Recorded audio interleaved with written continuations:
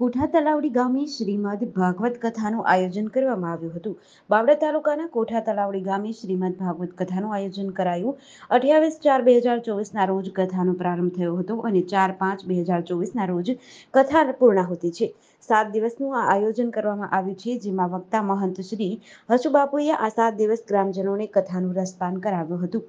અને આજે કથાનો છઠ્ઠો દિવસ છે.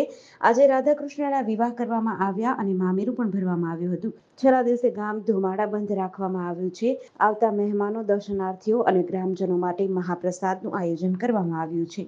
મારું નામ ઘનશ્યામભાઈ ખોડાભાઈ સોલંકી, ગામ કોઠા તલાવડી. અમારા ગામ કોઠા તલાવડીના આંગણે ભાગવત સપ્તાહનું આયોજન કરેલ છે. પરમ પૂજ્ય કાનદાસ બાપુના પ્રેરણાથી શ્રીમદ ભાગવત સપ્તાહનું આયોજન કરેલ છે. તેમાં વક્તા તરીકે શ્રી હસુ બાપુ વ્યાખ્યાન આપી રહ્યા છે. તારીખ અઠ્યાવીસ ચારથી તારીખ ચાર પાંચ બે હજાર ચોવીસ સુધી આ કાર્યક્રમ ભાગવત સપ્તાહ સાત દિવસનું આયોજન કરેલ છે. તેમાં આજે ભાગવત સપ્તાહનો સાતમો છઠ્ઠો દિવસ છે. છઠ્ઠા દિવસની અંદર આજે ભગવાનના લગ્નની તૈયારી કરી છે. ગામમાંથી જાન પણ આવવાની છે.